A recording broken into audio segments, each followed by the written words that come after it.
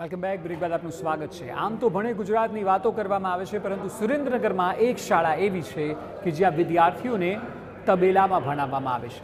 જી હા, પશુઓના તબેલામાં ચાલતી પ્રાથમિક શાળા સુરેન્દ્રનગરના થાન જિલ્લામાં આવેલા વીજળિયા ગામની આ હકીકત સામે આવી છે. જ્યાં ધોરણ એકથી પાંચના વિદ્યાર્થીઓ તબેલામાં બેસીને અભ્યાસ કરી રહ્યા છે. શાળા માટેનું અન્ય બાંધકામ નહીં હોવાને કારણે વિદ્યાર્થીઓ તબેલામાં ભણવા મજબૂર બન્યા છે. ત્યારે શિક્ષણ વિભાગની આ વરવી વાસ્તવિકતાની પોલ ખુલી છે. શિક્ષણ વિભાગના અદ્યતન સરકારી શાળાના દાવા પોકળ સાબિત થયા છે. આમ તો શાળા પ્રવેશોત્સવના નામે કરોડોના ખર્ચ કરવામાં આવે છે. તો બીજી તરફ બાળકો તબેલામાં ભણી રહ્યા છે, જે તંત્રના દાવાઓને પોકળ સાબિત કરે છે.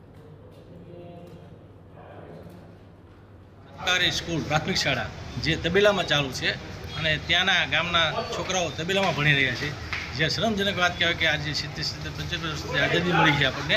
છતાં આપણા વિદ્યાર્થીઓ, આપણા બાળકોને હજી તબેલામાં ભણવું પડે છે.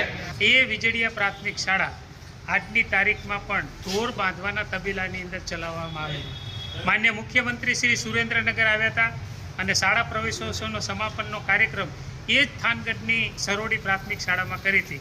એટલે આશ્ચર્યની બાબત એ છે કે એક બાજુ કોઈ સરસ શાળા હોય, ત્યાં જઈને શાળા પ્રવેશ ઉત્સવ કરાવે.